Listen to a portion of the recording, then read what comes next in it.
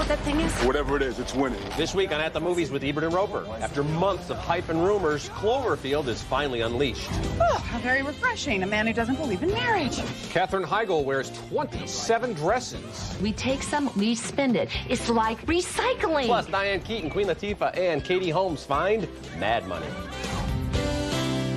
My name is Robert Hawkins. Approximately seven hours ago, uh, something attacked the city.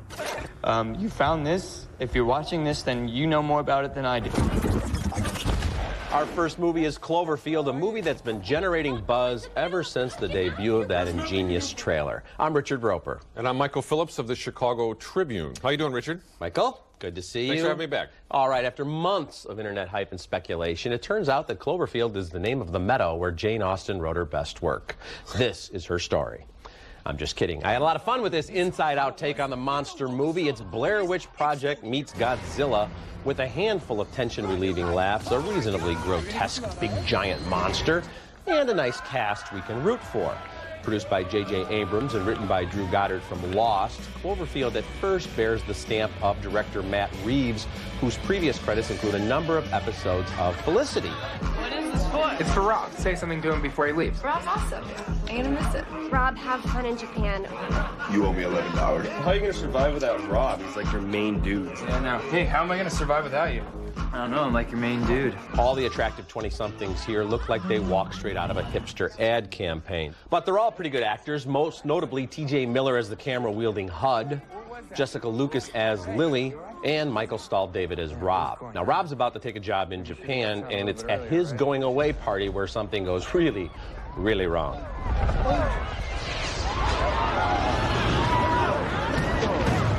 Go, go, go, go, go, go, go!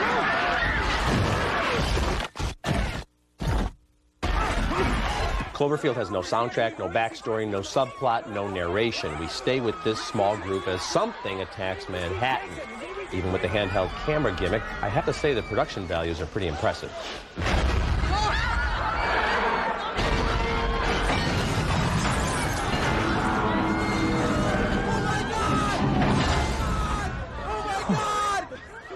Even at a brisk 84 minutes, Cloverfield comes close to wearing out its welcome.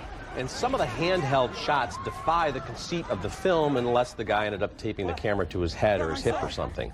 Cloverfield, despite all the hype, isn't revolutionary, but it's almost as creative as its own marketing campaign. I had a lot of fun with this, Michael. I enjoyed it too. So Oh, good, more than I would have guessed. Yeah, Yeah, yeah. And, yeah. and as you point out, there's no explanation about why this monster is, you know, No. where it came from or anything. So it's not like the old movies from the 50s, say Godzilla or The Beast from 20,000 Fathoms, where there's always a scientific explanation. No, no, no, it's like- and I think, yeah, you- the you- kids don't. I don't know if the kids are going to miss that or not. You know, I got to say this too. It's, you know, New York is going through a, a, quite a siege lately because you have I Am Legend and you have Cloverfield, and you know some of the shots in Cloverfield, especially with the smoke billowing down uh, the canyons of Manhattan. I mean, they, they definitely evoke images of 9/11. So in, in- Yeah. in, less than a decade, we've moved past sensitivity about New York Right. being destroyed, and it's now used again as an entertainment. Yeah, and in fact, that, that was my one. That was one of my reservations about it because I think the way it pilfers all that 9/11 imagery, well, that's a little queasy for me. But I mm-hmm. think the way they so selectively deal with this monster, he's just like another cranky out-of-town tourist, like Jack Lemmon and the Out-of-Towners. You know.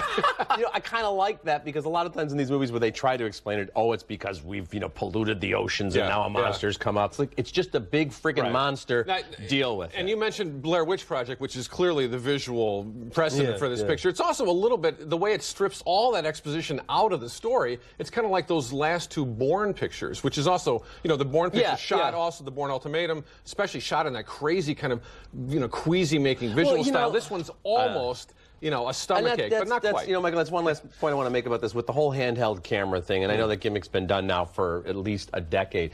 I would say this to all filmmakers who are trying to imitate amateur filmmakers, you know, just with a, you know, Sony handy Yeah. camera or whatever. Most people are better than that by now. They don't really go like this all the time because we've all been, you know, the average 18 year old's been shooting home videos since he was four. Yeah, right. So people are actually a little bit better about moving the camera around. You don't have to go too crazy with the jiggle cam anymore. I would say too, this is not an actor's movie, clearly, but I would say of the group, Lizzy Caplan really, really stands out as somebody to watch. I think, and It's a good cast, I yeah, it's a good cast, and yeah, 84 minutes long does the job. Entertaining. All right, there it is. It's a shame, I think, when a movie pulls together a good cast, ready to make the most of a caper, and the caper itself turns out to be eh. That's Mad Money in a monosyllable. Diane Keaton stars as the pampered Kansas City housewife of the suddenly unemployed Ted Danson. She gets a cleaning job at the Federal Reserve Bank, and in no time, she enlists the help of Queen Latifah and Katie Holmes in a scheme to scam the Fed out of stacks of used bills earmarked for destruction. Why destroy it when you can liberate it? But first, a little planning. We need a code word like, um, Um, like, liftoff. yeah, lift off. That comes up real easy in conversation. Right. Because you don't want it to be something you could say accidentally. You know, like if our go code was hot, and I saw you and I said, hey, Nina, you look really hot today. And then you go and you start stealing money. That could be a problem. Easy as pie, the ladies switch one lousy padlock, stuff the cash in their underthings, and waltz on out of there. Now I've got two reasons to love control top. I gotta get myself some boring underpants. I know. I bet Victoria never had this particular secret. The trick, as our heroines soon learn, is to keep the spending on the down low and not give in to Mr. Greed. Jackie, there must be something that you've always wanted to do with your life. Yes. I want to see Brazil and uh, Czechoslovakia and India and Actually, Pakistan. actually, and... there is no Czechoslovakia. What? You take whatever jokes you can find in Mad Money. Right off, the film informs you that the ladies end up getting caught, and a lot of the film is spent cross cutting between everyone's confessions and the events leading up to them. None of it has much snap, unfortunately, and the director, Callie Khouri, who wrote Thelma and Louise, can't really figure out how to energize the comedy or play the pathos for effective reality. The actresses are ready to rip. That's the bummer here. Keaton, Latifah, and Holmes are all very easy company, but the script, based on a British television feature, takes everything too easy. So I say skip it. You know, Michael, I actually like this, and I didn't Really? expect to because when I saw the, you know, the opening credits for this, I thought, okay, we have demographic casting and we Yeah. have, you know, a romp. But you have Callie Khouri, who did Thelma and Louise, wrote Thelma and Louise, and In Better did- Days, and yeah. also did Divine Secrets of the Ya-Ya Sisterhood, and this is the Divine Secrets of Thelma and Louise. She's combined those two, and I hated Divine Secrets of the Ya-Ya Sisterhood. There were moments in this movie I thought, okay, it's very formulaic. Yet I thought it did have some style Mm. and some zip, and I really liked the performances, especially Diane Keaton, who, kind you know, she's been doing some strange movies lately that I've, that I've hated, Right. but in this one. I think about halfway through, we just decided, you know what? She's insane. She's crazy, Yeah. and I like that. And Ted Danson is very strong as her husband. I thought that was an excellent I think, performance I think in my Danson. case, I think I think you're right about Keaton. I mean, she's giving it 120 percent, Yeah. and it's it is fun to see her working. I think uphill in this case. You know, to Good try, it's true. Just, just to try Yeah. to get some laugh and a little bit of truth out of this old premise. I got to say though, I just I just felt like every everything was far too kind of easy and felt like borrowed You know, pieces I, from old I- movies. I know what you're saying. It, it, it, you know, it goes down so quickly, and it's you're going to forget it. It's kind of like an airplane movie. You'll be very amused if you're Yeah. stuck uh, on a flight or if you're renting it. I, I'm just saying, there's just enough to recommend it. It's better than I expected it to be. It's reasonably smart. The caper, yeah, you're not going to buy every moment of it, but kind of Right. clever, and the performance is excellent. So just enough for me to I'd recommend say it. these actresses particularly deserve better. Fair enough, sir. Later in the show, Katherine Heigl tries on 27 dresses. And next, Woody Allen directs Colin Farrell and Ewan McGregor in another crime caper that goes wrong. This is a way out for me, too. Well, if you do it, there's no turning back. You could kill him with a knife. Or a hammer. I was thinking like a mugging with a hammer. Jesus, I'm starting to think I don't know you, Ian. Look, if we do this, it, it has to be... What? Nice and clean and sanitised so we can fool ourselves about what we're doing. I'm just saying there's a line I can't cross. Woody Allen is now past 70. That means he's about 30 years past the glory days of Annie Hall and a pre-Cloverfield Manhattan. Some say he's washed up. His latest film is Cassandra's Dream, and it's a decidedly minor work, but there's still some snap in Woody's writing and still some sharpness to his black humor. Ewan McGregor plays Ian, who falls head over heels for an aspiring actress. Thank you again for coming to my aid on the road. I dreamt about you the next two nights. Being rescued is one of my wicked dreams. It's not very wicked, being rescued. It's what you did to me after. Colin Farrell plays Ian's brother Terry. They're in constant pursuit of that one big score, and opportunity knocks when their wealthy Uncle Howard says he'll set them up for the rest of their lives. All they have to do is kill the man who has the goods that can put Howard in jail for life.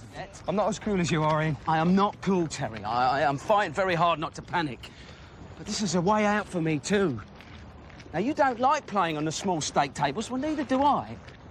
This is a big shot for me, Terry. To make a big step up in life. It's murder, right? I know, but... Yeah, well, don't forget it. Cassandra's dream teeters between film noir and black comedy. It's a morality tale in which just about everyone gets their just desserts.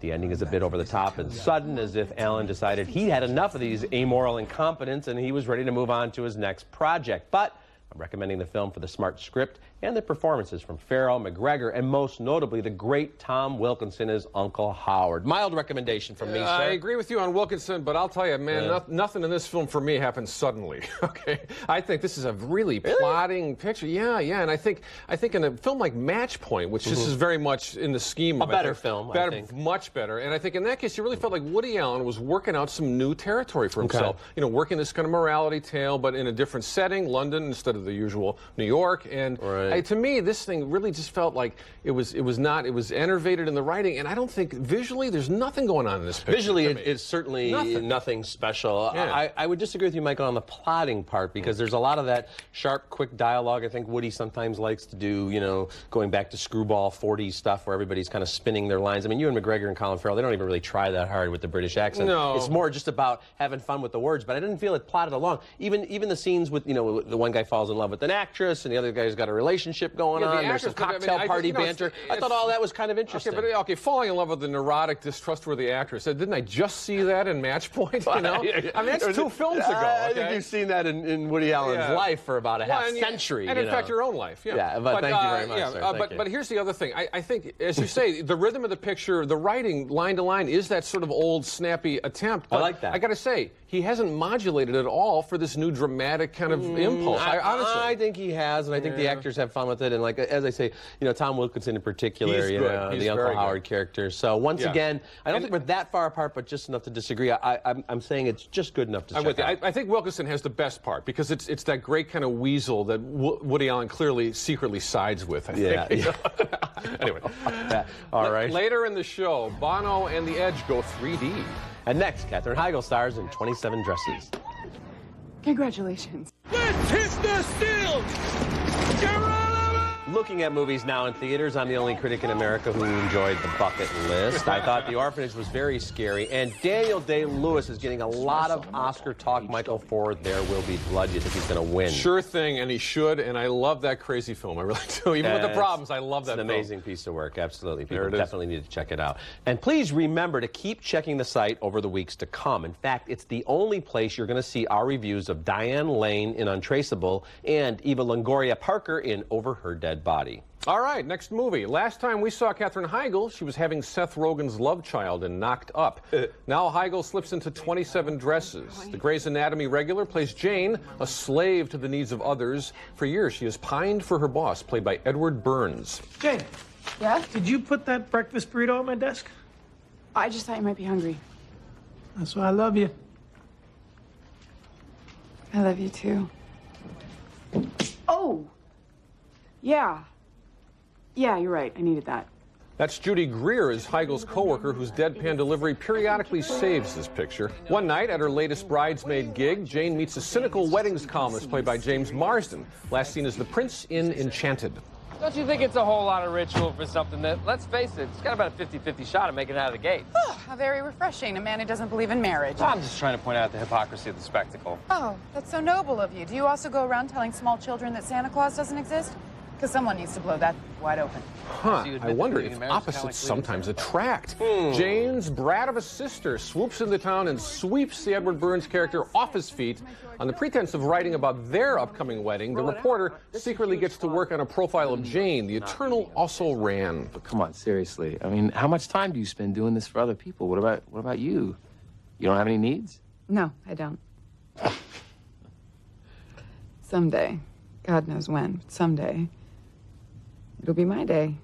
Now, Heigl's not the problem here. She has technique to spare and a slightly imperious but off-center appeal. I like her. I only wish she and Judy Greer could have hijacked this plot completely. Then we'd be reviewing a movie called Wisecracking Broads of 2008, not 27 Dresses. So for me, a near miss. Not even close for me, Michael. I really couldn't stand this movie. In fact, there was there was a moment where I thought, "Oh my God, is she going to try on those 27 dresses?" If she In a does, montage. I was ready to jump off the balcony. Wouldn't it be something if we found a very attractive star and placed her in a vehicle where nobody else else seems to find her attractive, and all she cares about is finding love. And wouldn't it be great if she had a wisecracking friend who existed for the sole purpose of wisecracking about her friend's life? And and yeah, then you have to sit through instead of the song from my best friend's wedding, which was you know say a little prayer. Here we have you know here we have Benny and the Jets song. You know, yeah, it's kind of which a is really a song that rocks out a bar, Yeah, yeah, right? yeah, yeah. And, here's the other thing. Here's the Heigl has talked in interviews about how she felt it knocked up. You know, which she you know which she's very good in. I Yes. thought. You Yeah, know uh, how that but how uh, the premise of that picture was a little sexist from her point of view.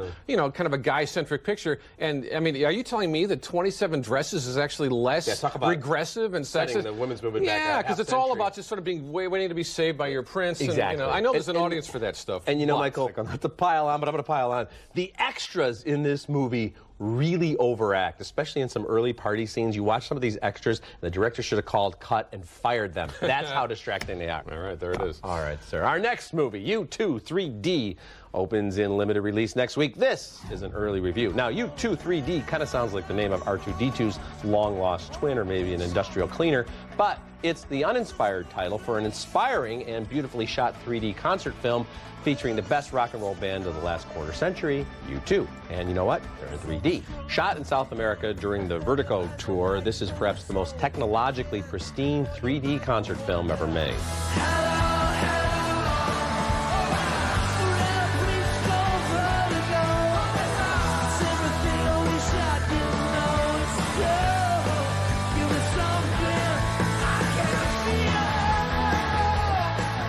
This is not an in-depth documentary about the band, nor is it a custom-made show designed to show off that 3D technology. It's a concert film with only a few visual tricks.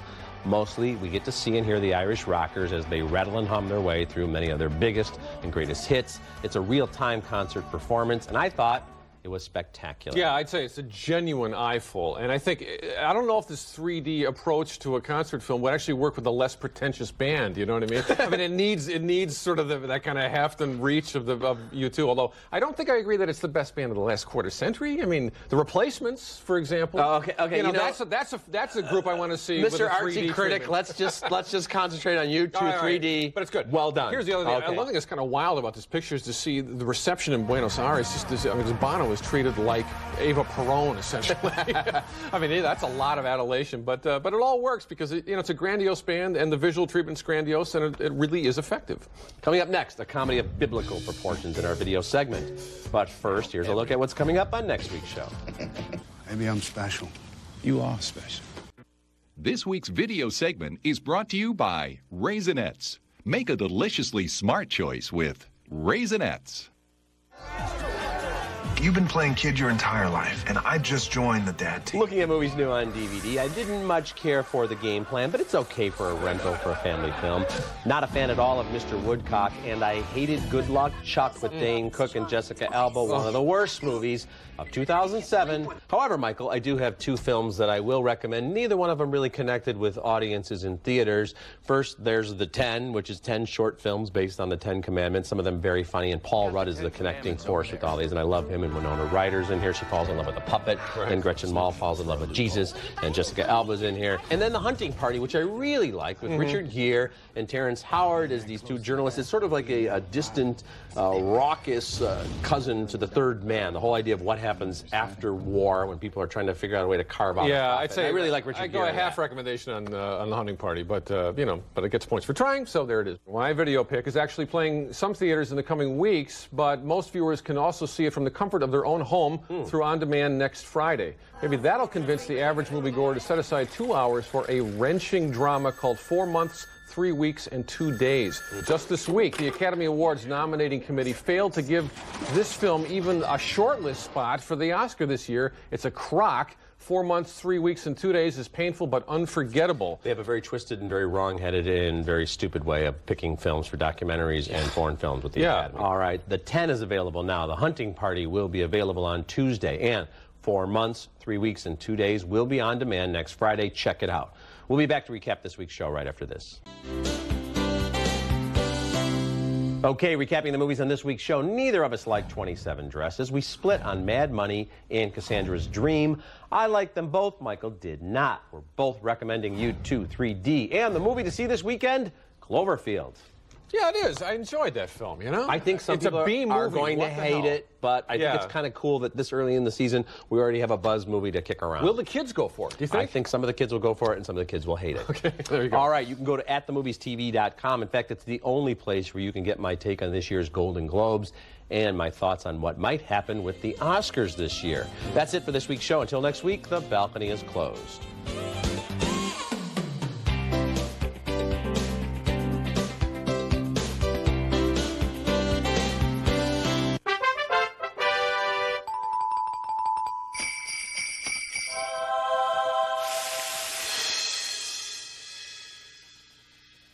My Bliss? Blistex Complete Moisture. A rush of moisture lips can feel. And it feels great. Discover Bliss. Discover Blistex. If you think a prune is a prune, you haven't tried Sunsweet Ones. How do you like the individual wrappers? It's not dry at all. They're delicious. Sunsweet Ones, bite for bite, even better than fresh fruit.